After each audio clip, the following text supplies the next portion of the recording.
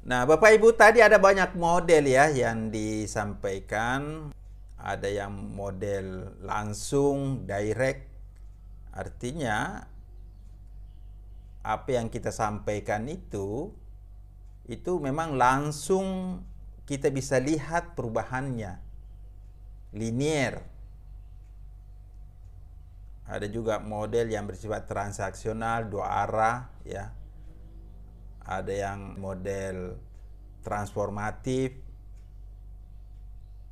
yang di mana seorang pembicara atau komunikator itu menanamkan satu ide-ide dan halayak itu nanti akan bergerak sendiri ya. Jadi ini ada beberapa model-model efek dan itu saya sudah jelaskan juga di materi mengenai efek komunikasi politik. Jadi eh, struktur perubahan itu ada tiga ya. Kemudian ada yang kelihatan dan ada yang tidak kelihatan. Kemudian model-modelnya itu banyak. Tinggal Bapak Ibu pelajari. Nah, model-model itu terkait dengan teori. Teori itu terkait dengan model. Tadi ada yang bertanya, bagaimana model ini? Model itu adalah bagian dari teori. Teori itu penjelasannya, model itu gambaran visualnya. Jadi kalau Bapak Ibu misalnya membuat model linear, model direct, model langsung, ya tinggal kasih di situ dua orang A, B, kemudian kasih tanda panah. Itu model direct, model linear. Jadi model itu adalah gambar visual dari sebuah konsep. Gambaran visual dari sebuah teori. Teori itu penjelasannya. Makanya nanti kalau penelitian ada namanya itu kerangka konsep, ada namanya kerangka penelitian, ada namanya eh, kerangka atau model lapangan. Itu adalah gambar-gambar yang kita visualkan dari konsep yang kita gunakan. Apakah dari teori, apakah dari hasil penelitian, atau dari pikiran peneliti, yaitu yang kita buatkan gambar-gambar visual seperti diagram alur ya bisa. Nah, Bapak Ibu, saya ingin memberikan satu model kan ini lebih lengkap ya, cukup lengkap kalau kita mengkaji hierarki efek. Ini nama modelnya Hierarchy of Effect Model, model hierarki efek. Teori ini dikemukakan oleh Robert Levitz and Gary Steiner.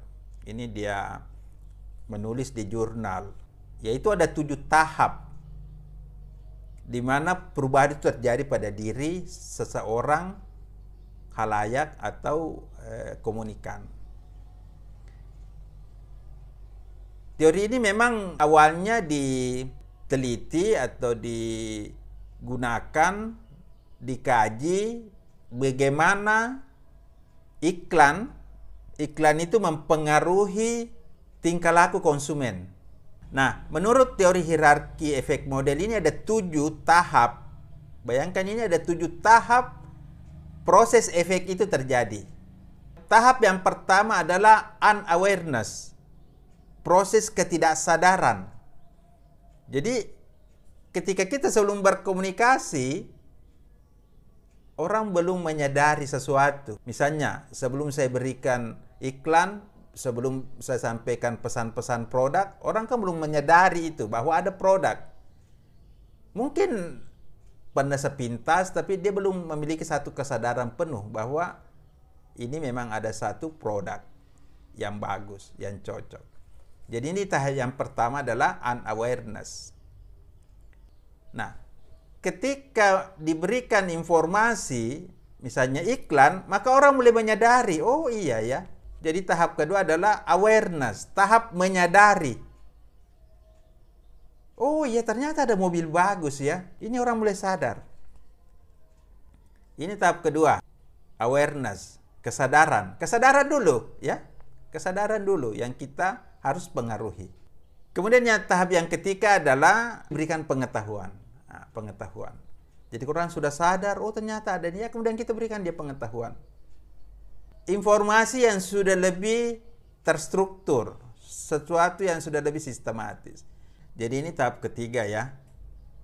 Unawareness, awareness, kemudian tahap eh, knowledge ya atau pengetahuan. Kemudian muncul kesenangan favorable terhadap produk. Wah, ini bagus ini. Ya, oh saya suka ini. Jadi orang sudah mulai suka. Tidak mungkin orang akan sampai ke pembelian kalau orang tidak suka. Jadi tahap suka ini pasti dilewati. Orang sudah mulai merasa suka, merasa senang. Senang pada produknya. Kemudian setelah itu ada sikap atau perasaan senang juga terhadap merek atau terhadap sesuatu yang berkaitan dengan produk itu. Wah, ini kalau produk begini, ini merek ini, wah sudah cocok. Nah, ini masih berkaitan dengan emosi. Nah, setelah kita merasa suka, ah di sini muncul tahap ke-6 ya, yaitu keinginan dan keyakinan. Ingin, wah ini bagus ini produknya. Saya ingin, saya ingin, saya ingin beli, saya ingin miliki. Saya yakin ini cocok dengan saya. Jadi antara eh, desire dan conviction itu harus seiring kalau orang ingin, orang harus yakin. Kalau keinginan tidak seiring dengan keyakinan, itu tidak bisa terjadi.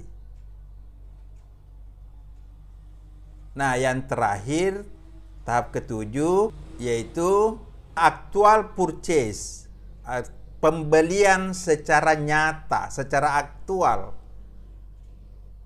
Kalau orang sudah membeli secara aktual, secara nyata, maka ini betul-betul bisa disebut efeknya itu betul-betul sudah nyata dan tidak diragukan lagi. Bayangkan tadi, mulai dari tidak menyadari, unawareness, kemudian awareness, sadar, kemudian diberikan pengetahuan, kemudian muncul rasa suka pada produk, muncul rasa suka, rasa senang pada aspek yang berkaitan dengan produk, misalnya merek. Kemudian setelah itu ada keinginan dan keyakinan. Baru terjadi tindakan fisik berupa pembelian secara nyata. Sebenarnya hampir semua proses komunikasi mengikuti hierarchical model efek ini. Hierarchical efek model dengan tujuh tahap ini ini Bapak Ibu eh, penting untuk jadikan satu referensi dalam materi kita hari ini ya. Dan kalau nanti ada yang mau penelitian mengenai efek, ini bisa Bapak Ibu jadikan teori. Kalau misalnya nanti ada yang mau meneliti mengenai bagaimana efek periklanan, efek komunikasi politik, efek kampanye, atau efek satu informasi di media sosial, di media apa, itu kita bisa meneliti dengan menggunakan teori efek ini. Jadi Bapak Ibu, kalau kita mau meringkas proses efek itu sebenarnya ada empat. Kalau kita mau meringkas bagaimana efek itu terjadi dalam diri seseorang. Ya, yang pertama harus lebih dulu ada kesadaran. Ini dulu kesadaran Jadi kita harus menjangkau kesadaran itu lebih dulu. Sesuatu yang memang muncul dalam pikiran-pikiran kita. Itu kesadaran. Kemudian yang kedua pengetahuan. Kalau kita sudah sadar, maka Bapak akan cari informasinya. Kemudian ketiga, setelah dapat pengetahuan maka muncul keyakinan. Nah, setelah ada keyakinan, baru kita sampai di tahap tindakan. Ya, action. Tindakan atau action. Jadi secara umum ada empat tahapan perubahan efek dalam diri seorang halayak. Pertama kesadaran, yang kedua pengetahuan, yang ketiga keyakinan, yang keempat tindakan. Ah, Bapak Ibu, eh, saya kira itu sebagai tambahan dari saya bagaimana efek itu terjadi pada diri seseorang baik itu bersifat personal, bersifat kelompok, organisasi maupun publik atau massa ya. Itu prosesnya seperti itu. Bagaimana misalnya media sosial itu sudah mempengaruhi, tapi prosesnya mempengaruhi itu kita tidak pernah memahami. Dan di titik mana pengaruh paling besar itu terjadi. Mungkin itu bukan pengaruh media sosial, bisa saja itu pengaruh lingkungan atau pengaruh keluarga. Ini memang perlu sebagai seorang calon ilmuwan memperhatikan kira-kira dari proses efek itu terjadi dari mana sumber-sumber efek itu banyak memberikan sumbangsi. Apakah dari keluarga, apakah dari faktor media, ataukah dari faktor lingkungan dan sebagainya.